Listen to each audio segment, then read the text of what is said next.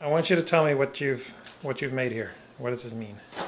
It means uh, purple is the best, Uh-huh. yellow is, red is contact parents, orange is consequence, and green is ready to learn.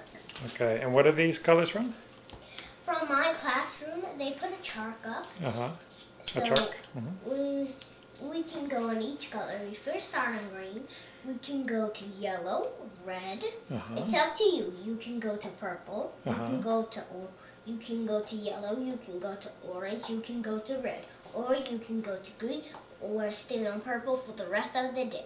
Oh. Do you know what? It What? would be great if you first thing in the morning the Mhm. teacher asks you Mhm. uh, to um, first first thing in the morning, and when I sit down at my desk, she calls me up to um, get, my name up on purple.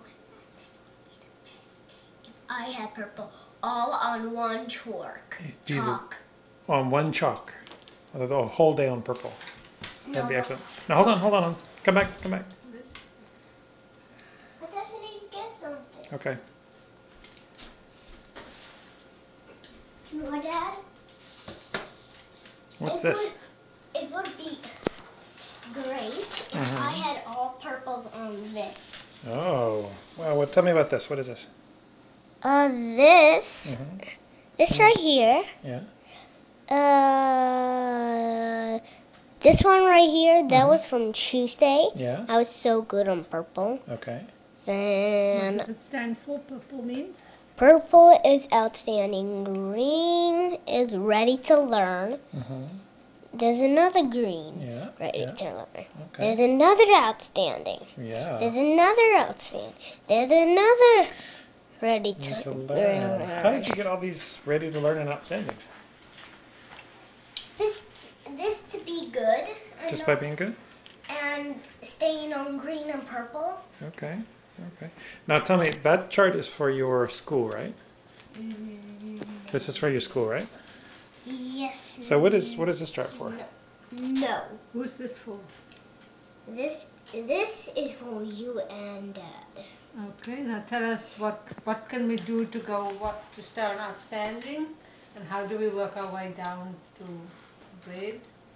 The only way to work your day way, work your way down is to be bad.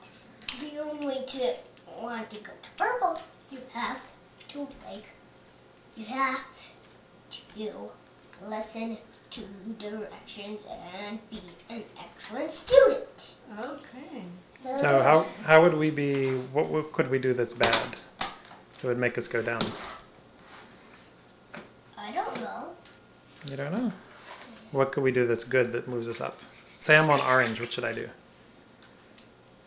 If you were on orange, Mhm. you would not play any games for the rest of the year. No way. No. No, I mean that's not true. Oh. That's not true. What does it, what does it mean? Uh, you would be with you would hmm you would hmm actually these ones I don't I actually these ones I can't have except the red. You can't have them. It's look there's only three to choose. Oh, okay. Outstanding, ready to learn, or contact parents. So if we get on contact parents, are you going to contact my parents? no. Who are you going to call?